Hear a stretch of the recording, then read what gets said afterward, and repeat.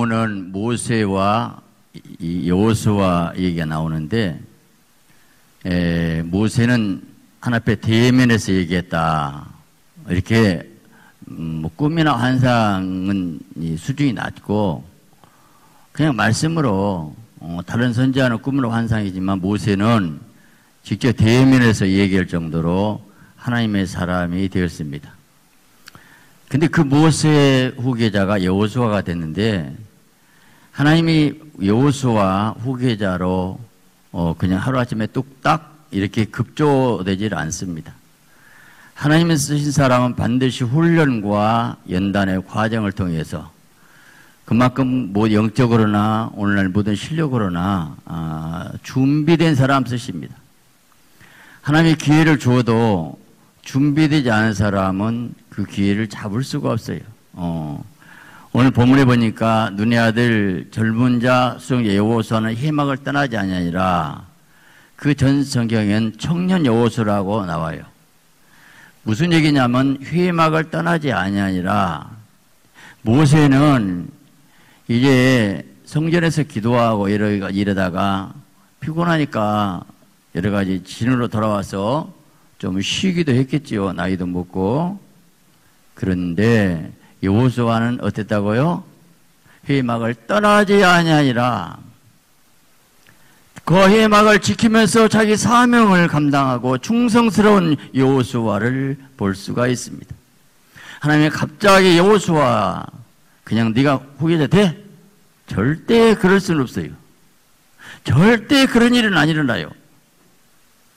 여호수아는 모세가 40일 금식할 때도 시내산에 올라가서 옆에서 수종 들었고 모세 항상 그림자처럼 따라다니면서 정말 모세의 모든 것을 손발이 되었어요.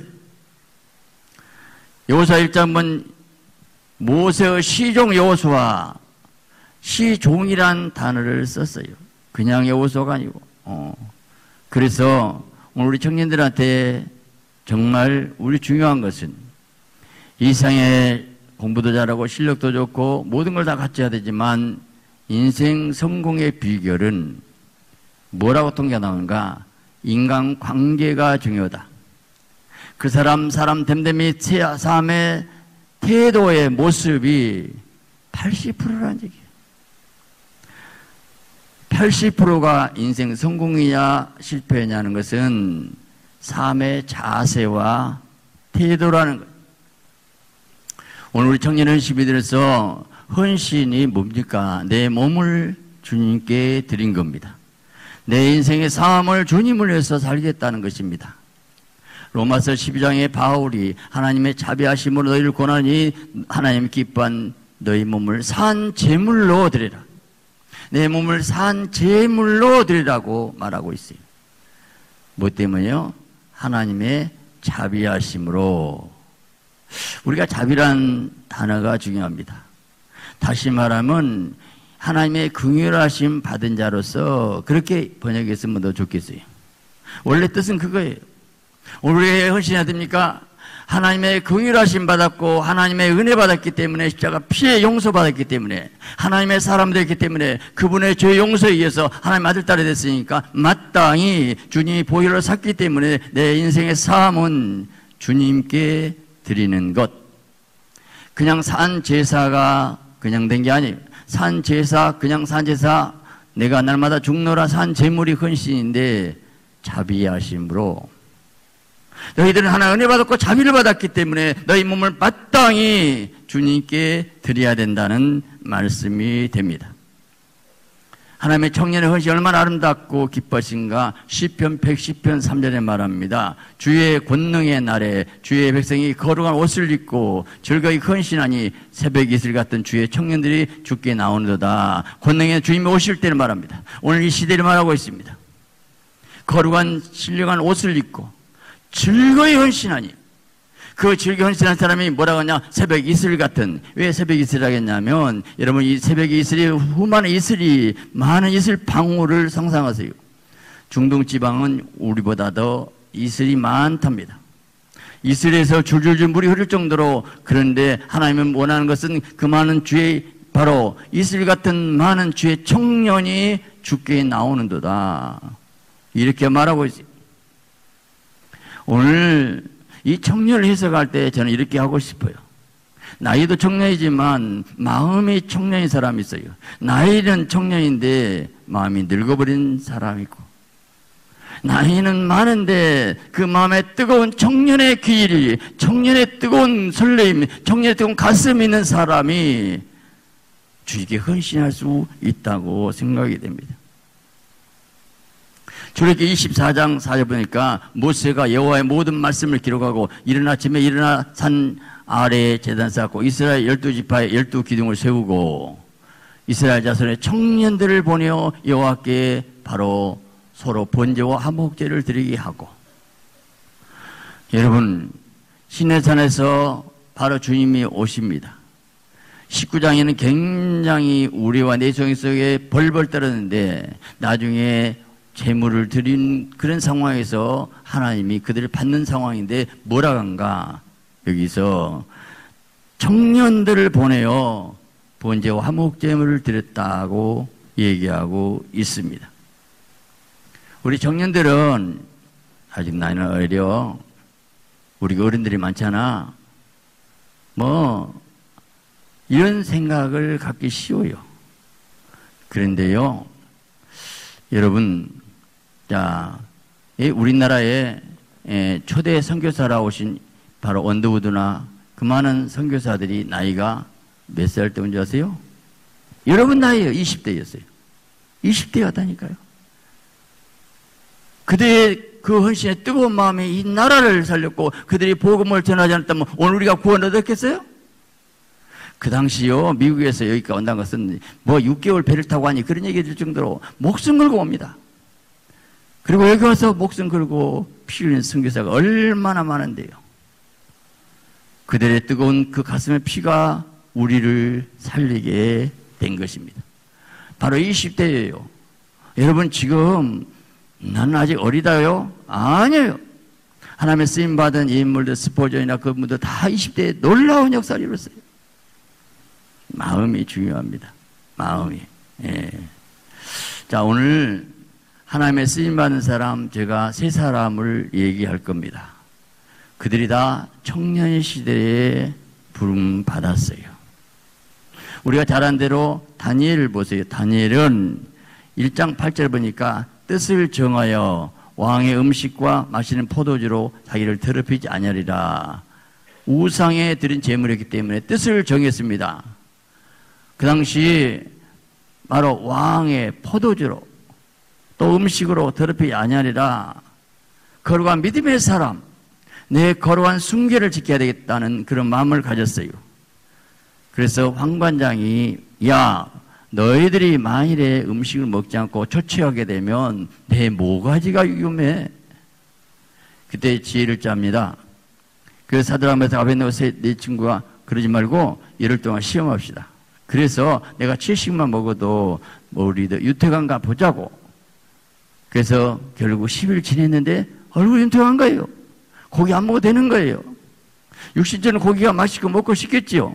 그러나 하나님의 신앙의 정제를 지기 위해서 우상에 바친 재물은 절대 먹지 않겠다는 그 결단, 뜻을 정하여 먼저 중 마음의 자세, 뜻을 정해야 됩니다.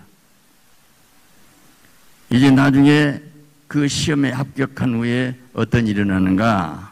바로 다니엘 10장 17절 말하기를 하나님이 예, 이네 소년에게 학문을 주시고 모든 서적을 깨닫고 지혜를 주셨으니 다니엘은 또한 모든 환상과 꿈을 깨달아 알더라. 무슨 말이에요? 다니엘이 국무총리 되는 것이 환상과 꿈을 잘 해석했었는데 그냥 잠자고 있는데 뚝딱 환상 꿈준게 아니에요. 그 시험을 통과한 거예요. 절대 왕의 진미를 먹지 않겠다는 거예요. 그러고 나면 환상, 꿈, 능력을 주실 것인가? 아니에요. 몰랐어요. 하나님의 중심의 마음 자세가 나는 절대로 깨끗하게 거룩한 하나님의 자녀답게 살겠다는 그 결단에서 10일 제식 시험에 합격을 하니까 그 다음에 하나님 못 줬어요? 다니엘은 환상과 꿈을 깨달아 알더라. 1차 시험에 합격하고 나니까 하나님이 이제 그에게 마음의 자세와 기본이 된 거예요. 그래서 이 다니엘에게 꿈과 한성을 해석한 능력을 성령의 은사를 은혜를 주셨다 그 말이에요. 하루아침에 뚝딱물 잘 되는 게 아니에요. 하나님 반드시 연단 훈련시켰을 때 거기에 합격해야 되는 겁니다. 하나님이 다니엘을 그 바벨론 전 세계를 통치한 그 영광의 나라에 국무총리를 세울 계획을 세웠어요. 한번 왕이 꿈을 꿨습니다. 여봐라, 내가 이상한 놀라운 꿈을 꾸었다. 꿈을 해석해봐라. 예, 박사 수사들이 왕이 왕이 말씀 하나 없어서 우리 해석해 다닌다. 그러지 말고 내가 어젯밤 꿈꾼 내용을 알아맞혀. 그리고 해석해봐. 아이고 망한 자식. 왕이요 왕이요. 꿈을 말을 해야 해석하죠. 너희들 내가 꿈 얘기하면 꿈은 이연령 비연령 마음대로 두드려 맞춰 해석해 볼 건데 그 맞는지 아니 어떻게 하냐 내가 꿈꿈 알아맞혀봐 얼마나 그래서 역시 누번 상황에 지혜로운 왕이기 때문에 그런 통치를 같아 진짜 가짜를 구분해야 됩니다 오늘 또 정말 이 사회에서 옥석을 빨리 구분한 사람이 하나님의 일꾼이 된다는 걸 알았어요 이 사람이 옥인지 석인지 알아야 되는 거예요 그래서 다니엘까지 이제 큰일 났어요. 아이고 다니엘의 지혜롭게 왕이 왕이 그러지 마시고 우리에게 말미를 주시고 시간 주셔서 기도하겠습니다. 그리고 이제 새 친구와 함께 하나님 무슨 꿈을 꿨습니까? 왕 꿈꾼 내용을 가르쳐 주세요. 이제 가서 왕이 왕이 해석했나 뭐냐? 왕이 큰 신상을 받나이다. 아 머리는 정금이고 어마어마한 신상이 돼. 가슴은 은이고 허리는 동이고 두 달은 철인데 열 발가락이 있었는데 뜨인 돌이 날아오니까 그것 맞고 완전히 부서져서 영원한 나라가 이루어졌습니다. 하나님 보여준 거예요. 왕이야 왕이야 그걸 봤죠. 와. 그 다음에 해석을 합니다. 왕은 바로 정금 머리인데 왕보다 못한 나라 메대 파사 나라가 나옵니다. 두 어깨 양쪽은 나눠졌어요. 헬라 제국이 통일합니다. 허리가 하나 됐어요. 동로마 서노마 나눠집니다. 열바락걸 시대가 옵니다. 마지막 시대에 뜨인 돌이 생명의 말씀에 의해서 완전히 그것이 부서지고 영원한 하나님 나라가 이루어집니다. 인류 역사를 정확하게 하나님 보여준 대로 다니엘 해석해 버린 거요. 여러분 얼마나 놀랬겠습니까? 와, 내가 말 안 해도 무슨 꿈 꾼지 알아맞히고 그런 해석은 당연히 맞는 것이죠. 의심할 것이 없어요. 완전히 왕이 무릎을 꿇어요. 뭐라고 합니까? 자, 야, 네 하나님의 참신이다. 은밀한 어떻게 나타내냐? 모든 귀한 선물을 주시고 바벨론 도의 지 어른으로 삼았더라 높여주시다는 겁니다. 바로 하나님의 사람, 영의 사람, 성령의 사람으로 만들고 쓰시지. 그냥 우연히, 아니, 총리되고 높아지면 못해요. 하나님의 사람 안 된 사람이 높아지면 못하겠어요. 그게 더 문제지요. 이렇게 하나님께서는 다니엘 아름답게 만들어 쓰신데 하나님도 계획했지만 우리 인간도 내가 계획하고 노력하고 뜻을 정하고 왕의 짐 먹지 않고 그러면서 그런 상황 위기 상황에 있을 때 왕이 왕이요 좀 시간 주세요 기도할게요. 하나님, 왕이 무슨 꿈 꿨습니까? 보여주세요. 바로 그런 자세, 그런 태도, 그런 모습이 있어야지. 그냥 어쩌다 줄을 잘 서고 누가 어떤 사람이 나를 좀 도와주면 될까? 아니요. 네 영성 능력만큼, 네 죄만큼 바로 네가 네 자신 인생을 개척하고 네가 노력하고 그걸 만들어낼 수 있는 여러분 되시기 바랍니다. 할렐루야. 자, 그래서 우리가 잘 아는 요셉 얘기 좀 할게요. 어, 요셉. 요셉이 어떻게 됩니까? 이 종살이에요. 노예예요. 얼마나 열심히 일했겠습니까? 얼마나 일했었습니까? 그래서 그가 가정 총무가 된 거예요. 국무총리 되기 전에 가정 총무부터 돼야. 뚝딱하지 마. 가정 중무부터 해봐라고 얼마나 열심히 일하면서 지혜롭고 명철한 가운데서 이야 주인의 마음에 쏙 들었어요. 오늘 오늘 우리 자세가 그게 필요합니다. 어쩌다 저서 운이 좋아서 아니요. 절대 그렇지 않습니다. 하나님은 실력대로 그릇대로 쓰시는 거예요. 어? 자, 그 다음에 말씀대로 살았는데 시험이 왔습니다. 보대와 제가 막 유혹했죠? 근데 어찌 그나그래 하나님께 득지하리까 하고 같이 있지도 않아요. 그 당시 보대발자가 하루만에 날마다 날마다 그렇게 생각시키고 날마다 유혹하고 여러분 그 나이가 요셉이 28입니다.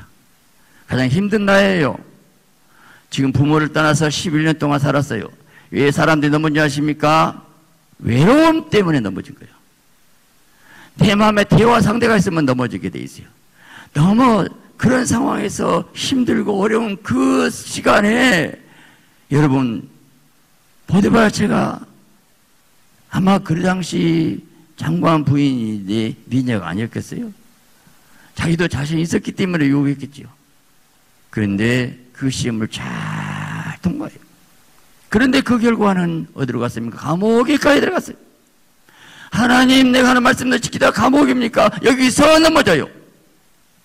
끝까지 하나님의 선하신을 믿어야 됩니다. 의지해야 됩니다. 그대로 거기서 하나님은 절대 어떤 세월 보내지 않습니다. 2년 동안 정치 수용소에서 정치를 배운 거예요.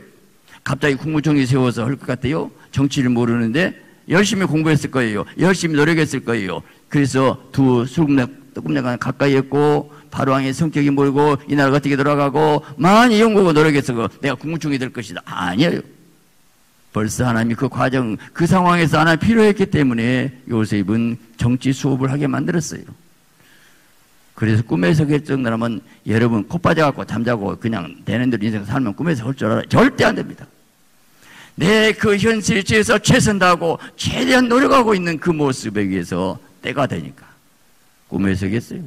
꿈에서게 무슨 그것이 속물게 열릴 줄 몰랐어요. 오늘 적어도 그렇게 두 장관이 근심하고 염려할 때 그 문제를 위로해주고 해답해주고 사랑해주고 섬겨주는 오늘 거지 같은 사람도 내가 사랑해줄 때 축복은 그 사람을 통해서 온다는 걸 알아야 돼요. 하나님 역사는 놀랍습니다. 국무총리가 드디어 되었어요. 나중에 이 바로왕이 뭐라 한가 자 여러분 그래서 7년 풍년 7년 흉년을 다 계속했어요. 그럼 어떻게 할까? 아 왕이여 왕이여 이렇게 이렇게 5분의 1을 전부 저장하고 해가지고 준비해야 된다이다 하고 여러분 우리가 뭔 일을 때 계획까지 완벽하게 치밀한 무엇이 있어야 되는 거요. 그냥 무대뽀로 안 돼요. 절대 안 됩니다. 믿음 믿습니다. 무슨 믿습니다. 네가 준비하고 계획이 있어야지 되는 거지. 치밀하게 계획 다 세웠어요. 이만큼 여호와 신의 감동된 자를 누가 얻겠느냐? 여기서 중요한 것은 여호와 신에 감동됐다고 다니엘도 하나님이 너희 신이 진짜 신이라고 오늘 하나님의 영광 돌렸어요. 여러분 그 상황이 어떻게 됩니까? 다니엘도 포로로 끌려갔어요. 요셉도 종으로 있었어요. 그 상황에서 하나님을 짓고 하나님 바라봤었을 때에 그렇다면 오늘 청년들이 내 환경 탓하겠습니까? 하나님의 신이 똑같은 신인데 누구는 다니엘이고 누구는 요셉입니까? 오늘 우리는 똑같아요. 네가 어떤 자세, 어떤 마음의 태도로 사느냐가 중요하다는 거예요. 우리가 다른 다윗 지금 세 사람 전부 청년 시기예요. 20대예요. 그 상황에서 다윗이 그가 골리앗을 이김으로써 역사의 새 장을 만들게 되는데 그는 군인으로 간게 아니에요. 형 윤문 갔어요. 아 근데 큰 거장 골리앗이 어마어마한 키가 저보다 1m는 높아요. 커요. 그가 입은 가부만 해도 100근이 넘어요. 어마어마한 장수예요. 아마 이 땅에 이 골리앗보다 큰 사람 없는 것 같아요. 아무리 농구 선수도 2m 80은 없어요. 그런 정도예요. 어마어마합니다. 온 목소리로 하나님의 신을 하나님을 저주합니다. 욕합니다. 다니엘이 막 그 다윗이 화가 났어요. 무엇이? 아니 여호와 하나님을 모욕한 이 할례받지 못한 백성아 그는 뭐 때문에 뜨거웠어요? 하나님의 영광을 위해서 어떻게 하나님을 저주해 할례받지 못한 저 백성이 내가 나가겠다고 나가겠다고 목적은 마음은 하나님의 영광, 하나님을 살고 싶은 뜨거운 마음이 있었던 거예요. 오늘 그 마음이 중요한 거예요. 하나님 위해서 내 일생 드려버리겠다는 거예요. 청년이에요. 그 자세와 그 뜨거움 없는 사람이 뭘 계산하고 타보고 그런 청년이 아니에요. 늙어버린 거예요. 정의 신을 해서 원칙을 해서 하나님에서 정확하게 할 수 있는 사람이 청년이지. 너는 칼과 창과 단청을 오냐? 나는 망군의 하나님 네가 모여게 있으리. 하나님의 이름으로 가노라! 하는 그 던지는 그 물맷돌이. 여러분 나 놀라운 것이 너무 일체예요. 바로 방금 했던 누구상이 환상봤던 그 큰 신상이 골리앗이냐? 비슷하잖아요. 그 누가 왕이 봤던 그 환상에 뜨인 돌이 날아갔잖아요.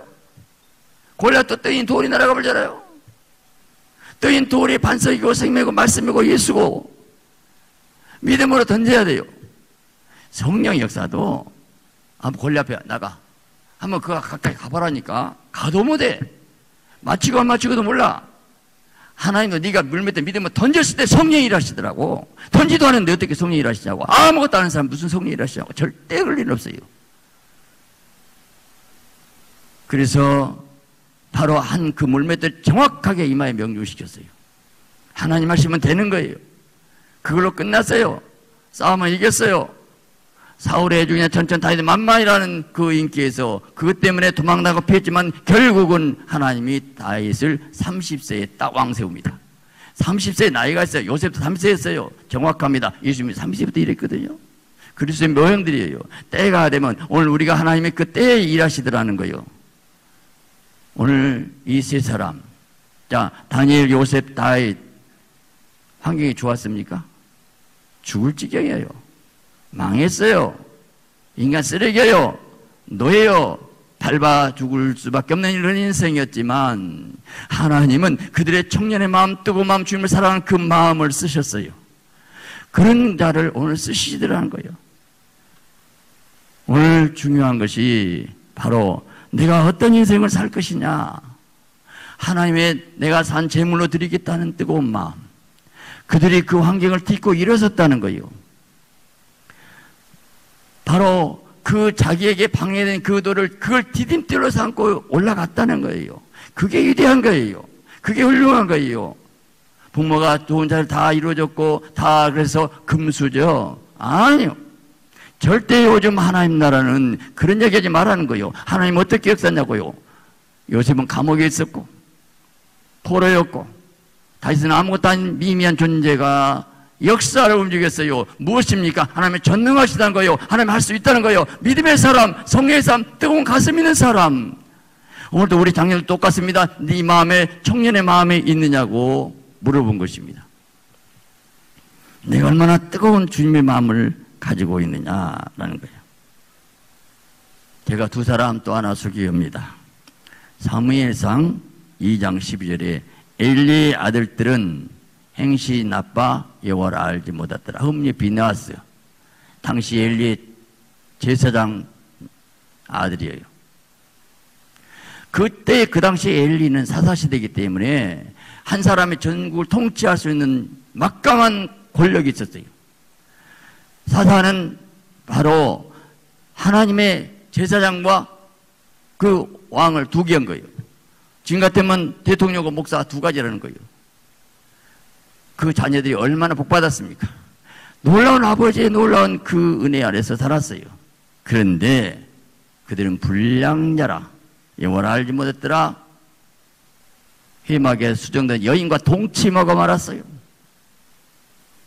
결국은 나중에 바로 블레셋과 싸울 때에 칼에 맞아 다 죽어요. 또 하나 사무엘상 8장 3절 보니까 그의 아들들이 자기 아버지의 행위를 따르지 않냐고 이익을 따라 뇌물 받고 판결을 훅게 하니 누군지 알아요? 사무엘 자식들이에요. 엘리는 좀 그런다 해요. 영적으로 비유되는데 사무엘 같은 훌륭한 그 훌륭한 아버지, 훌륭한 사사, 그 사무엘 다윗의 기름 붓고 바로 사울의 왕이던 이스라엘의 건국을 기초를 세운 훌륭한 사무엘의 아들들은 아버지에게 따르지 않냐고 이익 따른 뇌물을 받고 판기를 굽기 아니라 그래서 후계자가 되지 못하고 말아요. 자, 앞에 고난과 어려운 가운데서 일어난 세 사람과 그 영광의 자리, 아버지의 모든 후광을 입었던 그 두 아들들은 아버지를 따르지 않았어요. 어느 가정에서 아버지가 술 주정뱅이였어요. 두 아들이 있었답니다. 그런데 큰아들은 아버지를 따라서 술 주정뱅이였어요. 둘째 아들은 절대 술을 보지도 말았어요. 다 똑같은 아버지 아래 두 아들이 하나는 술 주정뱅이 아버지 따라고 하나는 절대 술을 보지도 마라. 질렸어. 아니야. 인생 그거 아니라는 거 알았어요. 오늘 어느 자세에서 어떤 자세로 사느냐. 선택은 내가 하는 거예요. 내가 노력하는 거예요. 요한일서 2장 10절에 아비들아 내가 너에게 쓰는 것은 너희가 태초에 계신 이를 알았으며 청년들아 내가 너에게 쓰는 것은 너희가 악한 자를 이겼음이라 청년들아 악한 자를 이겼음이라 오늘 누가 영적 청년이니까 악한 사단의 관세를 깨고 이겨야 돼요. 싸워야 돼요. 마귀를 이겨야 돼요. 믿음의 사람, 성령의 사람을 통해서 오늘도 하나님은 일을 하시더라 이 말입니다. 환경 다 돼요? 네가 이기라는 거요. 네가 할 수 있다는 거요. 일어서라는 거요. 너네 할 수 있다는 힘을 주신 분이 하나님이시는 것을 믿으시기 바랍니다. 할렐루야. 오늘 중요한 것은 내 인생의 목표가 뭘까? 하나님께 영광, 하나님의 선한 뜻 이루는 거. 저는 필립 브루스란 목사님의 말을 참 좋아합니다. 그분이 무슨 말 했냐면 나는 내 능력에 맞는 일을 구하자고 일에 맞는 능력을 구하겠다. 정신 자세가 중요해요. 내 능력 이 정도니까 내 능력에 맞는 일을 찾은 사람이 있어요. 아니라는 거요. 왜요? 하나님 영광을 해서 지금 74억의 영혼이 전국 갈 때까지는 우리는 쉴 수 없어요. 수많은 영혼 지옥에 불 들어가고 있어요. 이게 장난이 아닙니다. 불못에 영원히 들어가요. 얼마나 오늘 내가 한 사람 살리냐 못 살에 따라서 결정이 되는데 오늘 우리가 그 사명을 받았다는 거예요. 그렇다면 하나 영광에서 어떻게 될 것인가? 내가 어떻게 최선을 노력할 것인가? 하나님은 네 입을 넓게 열라 내가 채우리라. 하나님은 채워주면 입은 네가 열어. 입을 하나님 찢어지는 않더라고요. 네가 믿음의 꿈을 가지고 기도한 만큼 일하시겠다고 말씀하고 있는 것입니다. 오늘 내가 어떤 자세, 어떤 마음의 자세냐고요. 주님 사랑하기 때문에 주님을 위해서 내 인생 드려야지 한 번밖에 사는 모든 인생. 아니, 일생, 두 번 살면 이생, 세 번 삼생이지만 일생이에요. 한 번 살 수밖에 없어요. 여러분 청년 시기 얼마나 소중하고 얼마나 귀한 시기냐는 거예요. 적당하게 살아요? 되는 대로 살아요? 아니, 아니, 왜 하나님의 사람 이렇게 쓰임받았는데, 아, 내가 좀 높은 자로 되고, 아니요. 하나님 영광을 위해서라면 다윗이 골리앗 이기고 그가 왕이 올 걸 몰랐어요. 죽더라도 하나님 영광을 위해서 어찌 저럴 수 없다는 거예요. 나는 가만히 있을 수 없다는 거예요. 뜨거운 가슴에 의해서 믿음으로 나갔어요. 하나님이 그 사람을 쓰시기더라 이 말이 오늘도. 오늘 내가 얼마나 최선을 다하느냐. 미국 남북전쟁 때 터지기 전에 오하이주 대농부인 테일러시 농장 한 거지 같은 소년이 들어왔어요. 17세의 짐이었습니다. 무엇으로 고용했어요? 열심히 일합니다. 아주 부지런합니다. 똑똑합니다. 그런데 아니 그 부자 재테이브 애동딸을 이것이 사랑을 해? 너 가! 쫓아버렸어요. 쫓겨났어요. 예. 그 예동딸 사랑한다는 제목으로 세월이 지났습니다. 빈손을 쫓겨난 이 지임이라는 청년이 나중에 35년 후에 그 이 짐이 있었는데 그 창고에 짐에 딱 보니까 아 제임스 의 가필드 현직 대통령이에요. 그 쫓아본 그 청년이 열심히 노력했어요. 그래서 나중에 하렘 대학 수석으로 졸업하고요. 육군 소장을 거쳐갖고 하원 의원 여덟 번 하고 대통령 됐어요. 대통령. 사람 잘못 봤겠지요. 자기 사후가 대통령 될수있는 쫓아왔어요. 그렇습니다. 그런 환경에서 그는 일어났어요. 여러분, 이 두뇌가, 인간의 두뇌가요, 태어날 때 이미 뇌세포가 개중 결정돼서 아이큐 결정인데 약 140억 개래요. 그런데 20세까지 제일 극추수를 이뤄요. 근데 하루가 지나면 10만, 20만 개씩 뇌세포가 죽어가요. 30세에 4%, 40세에 8%, 50세에 12%, 20세에 절정의 뇌세포가 계속 줄어든다는 것이에요. 그 말은 무슨 말이냐면 이 머리가 퇴화돼요. 지능지수가 낮아져요. 기억력이 상실돼요. 나이가 먹으면 먹을수록 상실돼요. 여러분, 오늘 여러분의 그 나이에 청년의 나이가 얼마나 소중한 시간이냐고, 얼마나 귀한 시간이냐고, 오늘 중요한 것은 이런 마음의 자세와 태도예요. 어떻게 사느냐, 어떻게 살느냐. 내가 어떤 인생을 살 것이냐.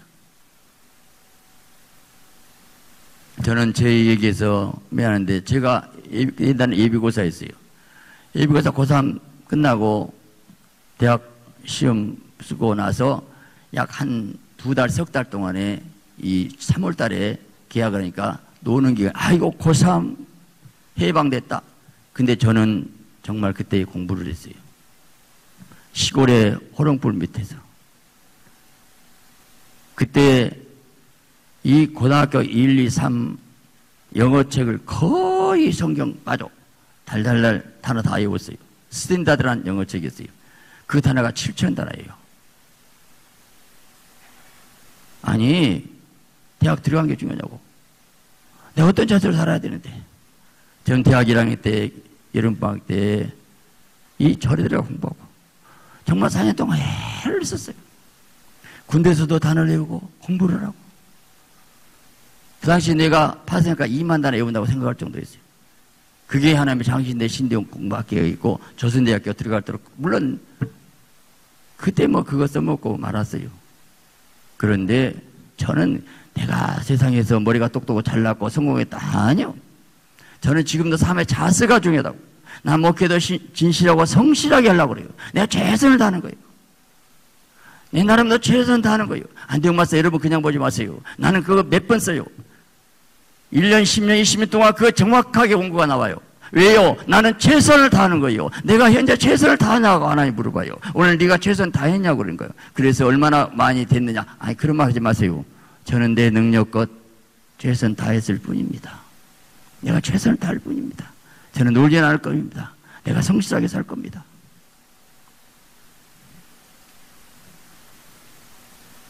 오늘 중요한 것이 어떤 자세로 사느냐는 거예요.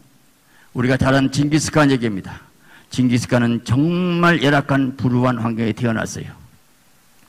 그러면서 그는 공부도 못했어요. 낫 놓고 기역자도 모르는 징기스칸. 세계 역사의 가장 넓은 땅 알렉산더 무슨 헬 아니 누구 아니 그 땅 다 평급봐도 아시아, 중국, 유럽, 아프리카 전 세계를 지금까지 세계 제일 땅을 넓히 잡은 사람이 징기스칸이에요. 징기스칸은 군대가 10만 명밖에 안 됐대요. 우리나라 5천 명하고 우리나라 슈퍼스를 만났어요. 그 리더십이 탁월하게 됐는데 그가 화살 맞고 도망가고 목에 칼 차고 도망가고 그러면서 죽을 겁이 얼마나 넘기든지 몰라요. 그 고생을 다 이겼어요. 그가 뭐라 한가? 나는 배운 것이 있기 때문에 겸손했다. 그리고 모든 사람의 말을 지혜롭게 그걸 잘 들었다. 그러면서 마지막 자기는 내 자신의 바로 원수가 내 안에 있는 것을 알고 징기스칸에게서 깡그리 다 없애렸다고 했어요. 내 자신이 극복하고 있는 거예요. 아니 불신자도 자기 인생을 자기를 이기고 자기를 다스렸을 때 놀라운 역사를 이루는데 하나님의 능력을 산 사람이 성령을 산 사람이 왜 못하냐고요. 자세가 중요하다고 해요. 태도가 중요하다고 해요. 얼마나 신앙생활 삶의 자세가 태도가 중요한가 내가 이 얘기만 하고 마칠 겁니다. 칸느 영화제에 최고 작품을 받은 미량이라는 영화가 내용입니다. 자, 신혜라는 여인이 있었어요. 남편이 죽었어요. 불행이 왔어요. 근데 남편의 고향 밀양으로 가서 살았는데 아들 하나 있는데 아들이 싸늘한 시체로 눈앞에 나타났어요. 여러분, 한 여인이 남편 죽고 아들 하나 믿고 사는데 그 아들이 죽었었을 때의 통곡을 정도가 아니에요. 피눈물 흘리면서 얼마나 고통스러워서 그러면서 인생 죽지 못해 사는 고통 가운데서 그가 전도를 받아요. 예수를 믿었어요. 은혜 받았어요. 그리고 하나님 기도하고 하나님의 은혜가 그 가슴에 임하게 되었어요. 자기 아들 죽인 유괴범 내가 용서해야지. 그리고 교대소를 찾아갔어요. 얼마나 보고 싶지 않고 아주 내 아들 죽인 놈을 누가 보고 싶겠어요. 징그럽지요. 그런데 얼마나 기도하고 하나님 예수님의 십자가 피로 날 용서했으니 너희가 내 죄를 용서같이 내 뭐, 이웃을 용서하라 했기 때문에 그래서 그 가슴을 두근두근하고 유괴범을 만나러 갔습니다. 미연애가 됐어요. 그런데 자 가서 나는 당신을 용서하기 위해서 교도소에 왔습니다. 근데 유괴범이 아주 수염도 싹 밀고 산뜻하고 얼굴이 환하고 밝아갖고 바짝이같이 나왔어요. 아, 그러십니까? 난 당신을 용서하기 위해서 왔습니다. 예수 믿고 당신을 용서하러 왔습니다. 하는 그 어머니의 그 가슴이 뛰고 있는데. 예수 용서하기 위해서 용서돼, 용서가 되겠습니까? 지금 그게. 근데 유괴범이 뭐라고 하죠? 아, 그러십니까? 나도 교대에서 예수 용접했습니다. 예수님이 그러니까 다내 용서해 줬거든요. 그리고 아이 그 어머니 배 통쾌하게 웃는 거예요. 그러면서 뭐라 아이고 이렇게 내 마음이 편할 줄 몰랐습니다. 진즉 믿을 건데 이러는 거예요.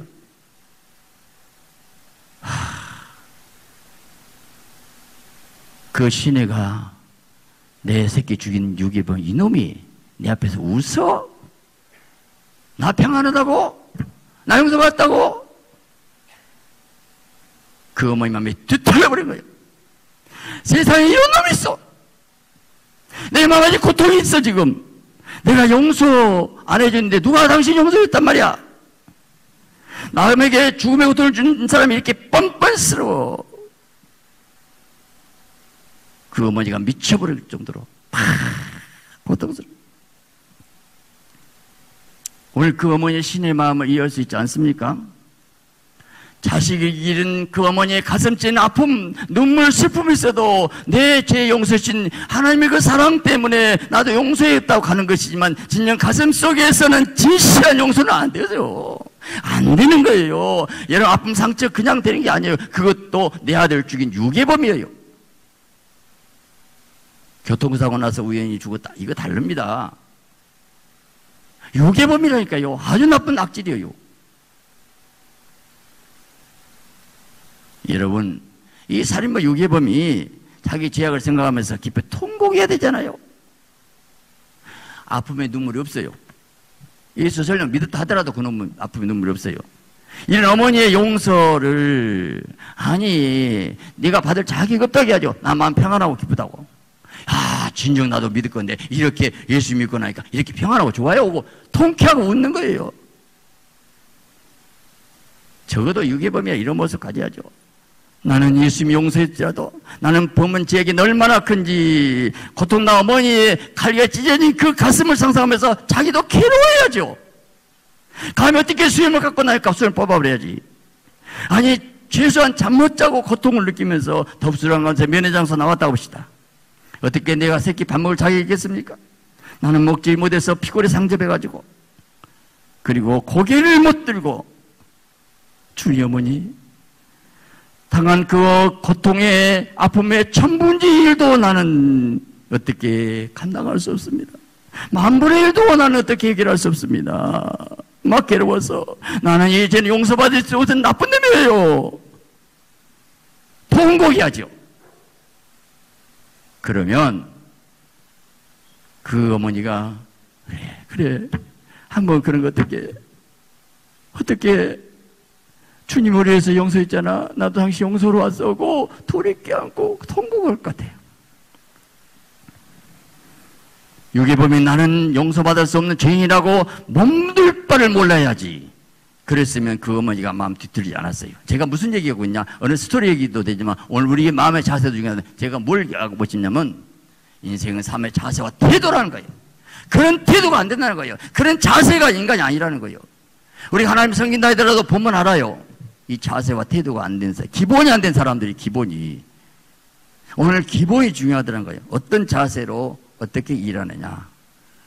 여러분 청년들이 어떻게 살 것인가? 어떻게 일할 것인가? 유럽연의 식당에서 실제 있었던 일입니다. 손님이 화를 박는다. 여보!